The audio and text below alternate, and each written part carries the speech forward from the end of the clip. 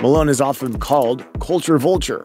Many look at Malone's success cynically, viewing him as a privileged white person appropriating hip hop, which originated from black culture. Responding to this criticism, Malone said, There's a lot of people that wanted to talk down on me and laugh at me and call me a culture vulture and say, I don't appreciate hip hop and I don't do nothing for the culture. So I guess this is me telling y'all to live your best life. Don't listen to what the F nobody has to say about you because you are the effing shit and you can do whatever the fuck you want to do if you believe in your fucking self.